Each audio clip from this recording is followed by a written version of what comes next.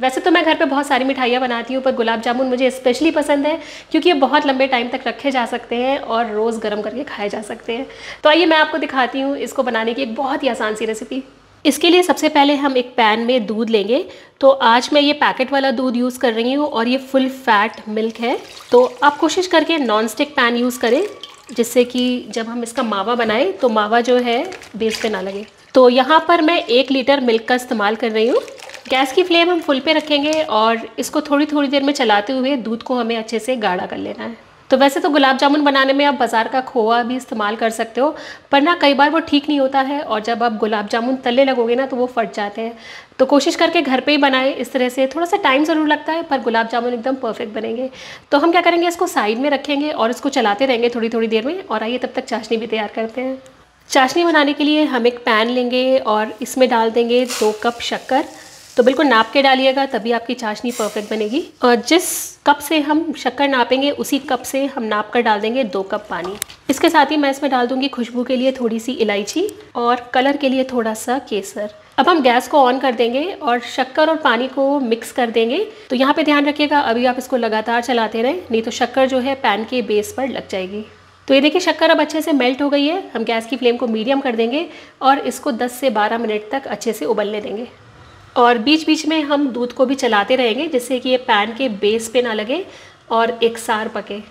तो ये देखिए, चाशनी को मैंने ऑलमोस्ट 12 से 13 मिनट तक ही उबाला होगा और अब हम गैस को ऑफ़ कर देंगे। और अब मैं दिखाती हूँ कि आपको चाशनी चेक कैसे करनी है, कि तैयार है कि नहीं। तो इसके लिए आप थोड़ी सी चाशनी एक चम्मच में ले लें और हाथों से उस तरह से इसको टच करके देखें।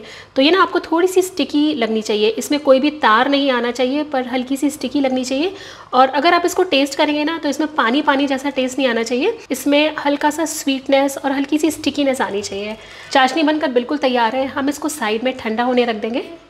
मैंने ना दूध को ऑलमोस्ट आधे घंटे तक पकाया है और इसकी कंसिस्टेंसी ना अब रबड़ी और खोए के बीच की आ गई है तो बस इस टाइम हम गैस को ऑफ़ कर देंगे और बस अब हम इसको थोड़ी थोड़ी देर में चलाते रहेंगे। नहीं तो इस पर क्या होगा, एक मोटी सी मलाई की लेयर आ जाएगी और हमारे गुलाब जामुन ठीक नहीं बनेंगे। तो थोड़ी देर में ही आप देखेंगे, ये काफ़ी थिक हो जाएगा। तो आपको ध्यान रखना है, हमें इसको एकदम गाढ़ा नहीं कर देना है। जब हल्का सा इस तरह की कंसिस्टेंसी का हो, ना गाढ़ा, ना पतला, उस टाइम पे इसको बंद कर देना है।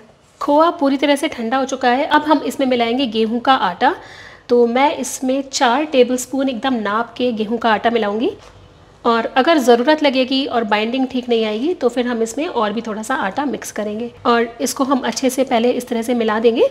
तो यहाँ पर ना आपको ध्यान रखना है कि बहुत ज़्यादा आटा नहीं मिक्स करना है। नहीं तो गुलाब जामुन में ना एकदम आटे आटे जैसा टेस्ट आएगा, खोए का टेस्ट उतना नहीं आएगा। और अब हम क्या करेंगे, इसको हाथों से ना हल्का सा इस तरह से मिला लेंगे। तो यहाँ पर आप आटे की जगह मैदे का भी इस्तेमाल कर सकते हो। और आप ये देखें, इसमें कितनी बढ़िया बाइंडिंग आ गई है। तो बस इसी तरह का चाहिए है हमें। और अब हम इसमें डालेंगे one fourth T baking soda और one fourth T baking powder इसके साथ ही हम इसमें डाल देंगे वन फोर्थ टी घी और हम अपने हाथों में भी थोड़ा सा घी ले लेंगे। और इन सभी चीज़ों को अब हमें बहुत अच्छे से आपस में मिक्स करना है। तो यहाँ पर ना आप इनो का इस्तेमाल नहीं करें। बेकिंग सोडा और बेकिंग पाउडर ही डालें और एकदम नाप के डालें, तभी आपके गुलाब जामुन अच्छे बनेंगे। तो अब हमें हथेली से इसको अच्छे से इस तरह से मसलना है। इससे क्या होगा, हमारा मिक्सचर भी स्मूथ हो जाएगा और जो बेकिंग सोडा और बेकिंग पाउडर हमने डाला है, वो पूरे मिक्सचर में अच्छे से मिल जाएगा। तो ये देखिए, हमारा मिक्सचर तैयार है और अब हमें क्या करना है, इसके बॉल्स बनाने हैं। तो जितने बड़े, छोटे आप बनाना चाहो, उतने बनाओ, लेकिन आपको बस एक बार ध्यान रखना है, इसको हाथों में ना अच्छे से इस तरह से रगड़ें पहले और एकदम स्मूथ करें और उसके बाद ही इसके बॉल्स तैयार करें। तो ये देखिए, बिल्कुल तैयार है, मैं इसी तरह से सारे बॉल्स तैयार कर लूँगी। और यहाँ पर हमने तेल को हल्का धीमा गरम किया है और अब हम ये गुलाब जामुन इसमें डाल देंगे। तो यहाँ पे ध्यान रखना है, तेल का टेम्परेचर बहुत ज़्यादा नहीं होना चाहिए। अगर तेल का टेम्परेचर ज़्यादा होगा तो गुलाब जामुन ऊपर से पक जाएँगे और अंदर से कच्चे रह जाएँगे।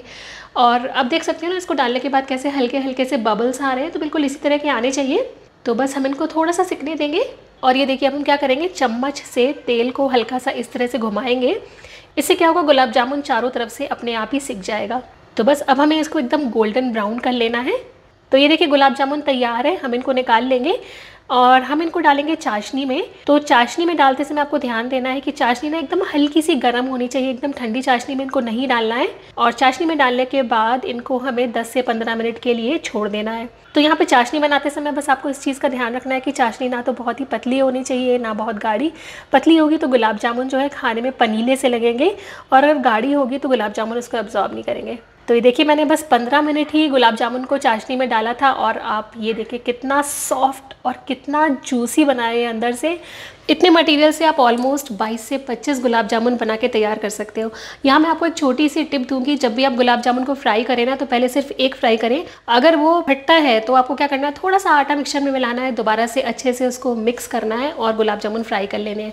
एकदम परफेक्ट टेस्टी सॉफ्ट और जूसी गुलाब जामुन बन तैयार होंगे। अगर आप इसको एक बार बनाओगे ना, ये खाने में इतने मज़ेदार होते हैं कि आप इसको बार बार बनाओगे। तो ट्राई करिएगा और हमें कमेंट में ज़रूर बताएगा कि आपके गुलाब जामुन कैसे बने। अगली बार आपसे फिर मुलाकात होगी एक नई रेसिपी के साथ। तब तक के लिए टेक केयर एंड बाय